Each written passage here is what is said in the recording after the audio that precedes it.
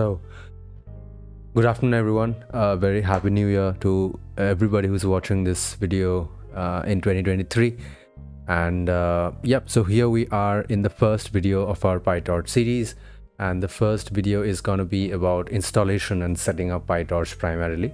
So we'll be using uh, Anaconda for this. Anaconda is an extremely effective package manager that allows you to create environments uh, where you can have your desired Python version along with the desired versions of other supplementary libraries such as NumPy, PyTorch, etc.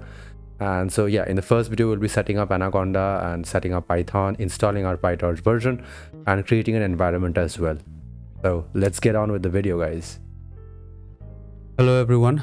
Uh, so here we are on the official Anaconda website as you can see on the right hand side here we have the download option. I'm on a mac os but uh, if you guys are windows or ubuntu linux users then you can press on one of these icons here. It will take you to the bottom of the page where you will find all the different versions which can be installed compatible with different architectures.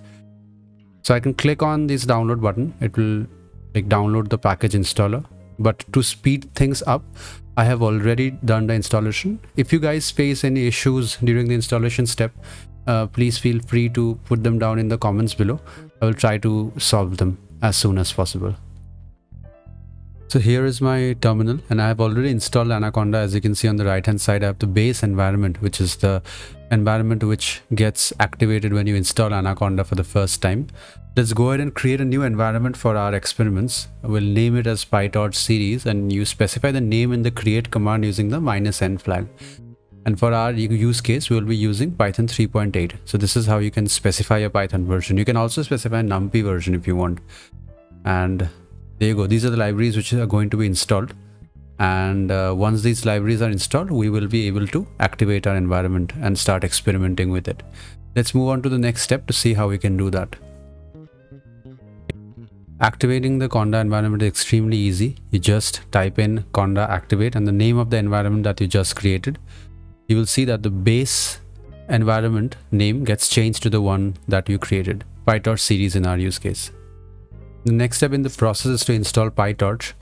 We're on the PyTorch website and as you can see the latest PyTorch version has released, it's 1.12 and uh, lucky for us we have the conda command right here which we will be using to install pytorch. We'll just copy paste this command in our terminal and uh, we'll install pytorch along with the libraries which are necessary. The first step would be to activate the environment that we just created uh, which is pytorch series so we'll just go ahead and use the command conda activate pytorch series in order to do that and then we'll paste the commands that we copied from the PyTorch website. This will uh, prompt us with all the libraries that are going to be installed along with PyTorch 1.12. So now that the installation is completed, let's go ahead and check if PyTorch is uh, getting imported or not and uh, we'll just print the version to see if it works properly as expected.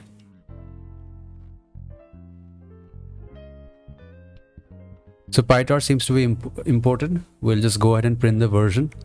And uh, yep, it's 1.12, just the one that we downloaded.